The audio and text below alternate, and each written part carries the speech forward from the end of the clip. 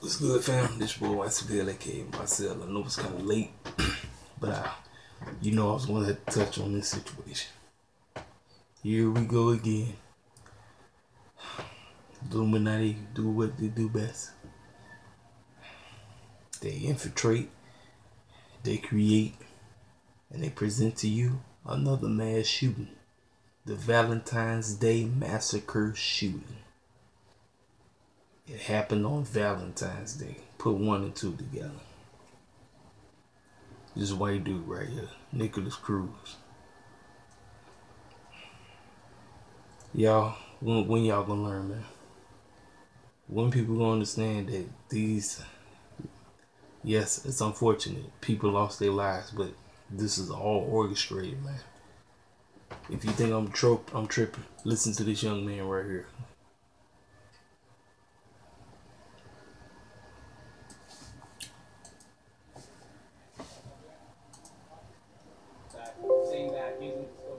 Were, were saying that it was going to be him. So that we actually we, a lot of kids do jokes around like that, saying that he's the one who screwed the school. But it turns out, you know, everyone predicted it. It's, it's crazy.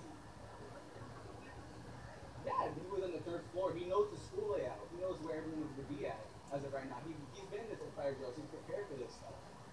Honestly, Did you hear the man? He's prepared.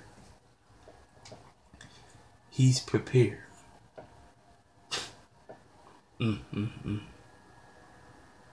And people don't understand when we say the fix is in, we're not playing.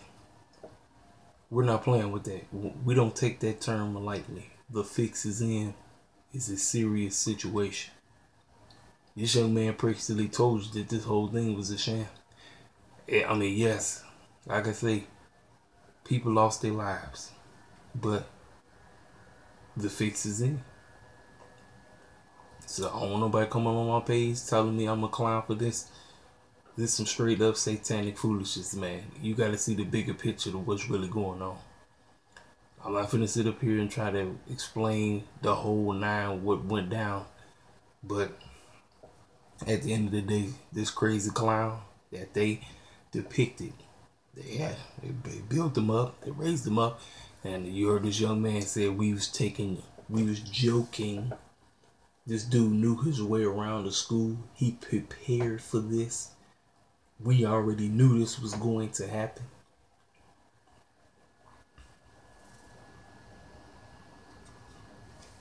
Mm. All for gun control, because that's what it's all about. Why? So they can take the guns out of people who are voting citizens. And they have the right to bear arms. Take the guns out of their hands so when the New World Order goes down, you don't have nothing to protect yourself. It's a, it's a shame, man. It's a shame, man. Anyway, man, I just want to come here and let y'all know I'm very aware of the story. I'm looking more into about what's really going on. Uh, sad.